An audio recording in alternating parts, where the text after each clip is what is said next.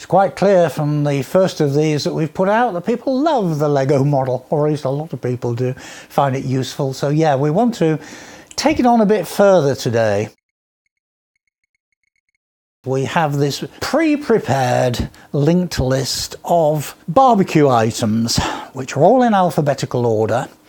And last time we covered about how would you insert a new item into this list if it was something that you'd forgotten to buy and you bought it later. This thing called P is pointing at exactly the same structure at the head of the list as start is.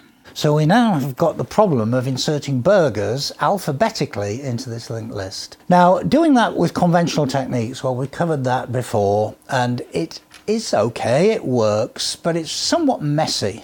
I wasn't happy, never have been happy over the years with the way that that's done in the conventional single level pointer technique.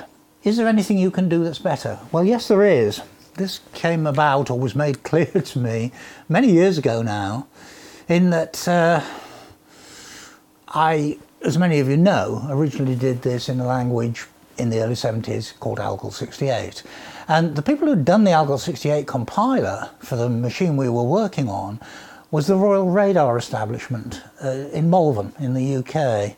And one or other of the people there who did that compiler, could be Sue Bond, could be Philip Woodward, just said to me and my colleague Andy Walker at the time, they said, you're teaching this stuff now. You do realise that Algol 68 can do the triple ref technique which previously has only been available to assembler programmers. We said, really? Can it? Yes. And yes, it can. So what on earth is this? Well, despite that technical name, it's actually a pointers to pointers technique. It's very powerful. And you might think, well, if you've got pointers, why on earth would you want pointers to pointers? Well, the strange thing about this, and the really remarkable thing, is that in the end, it makes your procedure for doing things simpler, not more complicated. So what do we do? Well, we've got burgers here and we're going to try and put it into the correct place just as before. But instead of using a previous single level pointer and then having to say, well, it's all very well, it can probe what the strings are, but what you had as the problem was you'd forgotten where you came from.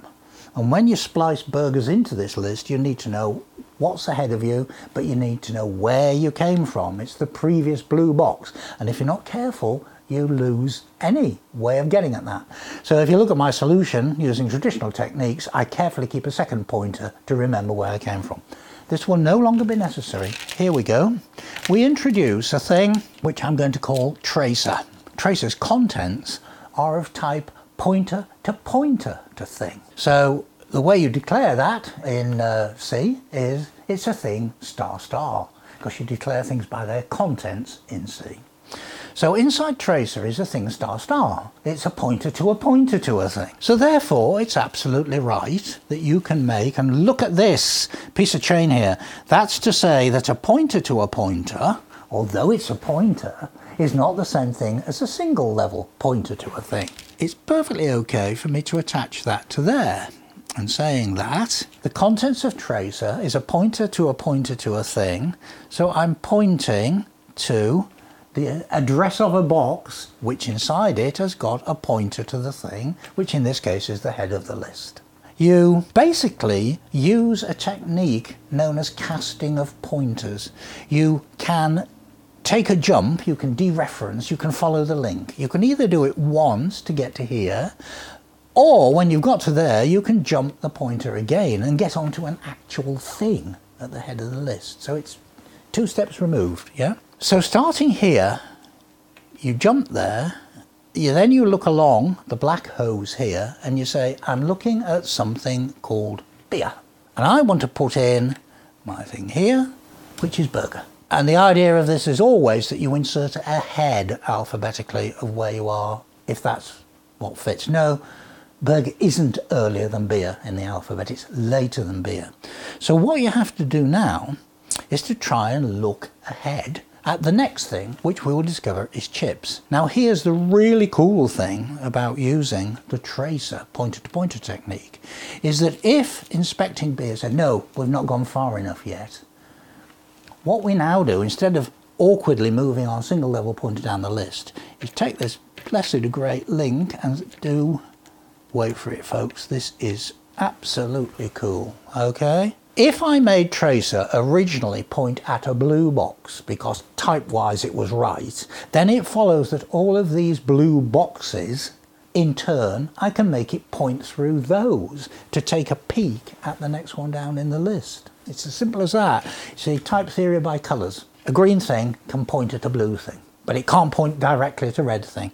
So you look at this and you think, well, by the principle of coloured Lego type theory, if I can make the green thing point at any blue thing, I can do that. And then you say, but what does that imply in the programme? It implies in the program that you've got to be able to find the address of a blue box that's embedded within a particular thing structure. And look, look what you could then do is you start with tracer, you jump to that box, but then you jump down the fireman's hose and you can take a look and you see that the next thing is chips.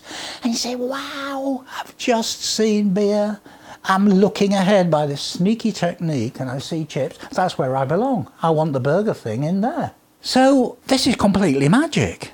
Um, but, but does it generalize and does it work? And the answer is yes, it does. Because by stepping one step backwards and going through an intermediate blue box before you do anything, the crucial advantage it gives you is that having decided that burgers does belong in here, the problem we previously had of saying, where the heck did I come from, is solved because Tracer is still pointing at it. So you say to Tracer, let me dereference you once, and I've then got the address of the box I want to alter so that it points at the burger thing. And we end up, just like we did I think last time, but using the tracer technique of saying, there goes burger, we know we're in the right place, and if you remember, we constructed, let's get this right, do the long one first. that one goes to here. Yeah. And then finally, you, in, you complete this splicing in operation by taking that pointer that previously came off the beer thing, turning it round and putting it on the blue box there. So, job done, but the big point is that you were able to keep half a finger on where you came from. That's the thing.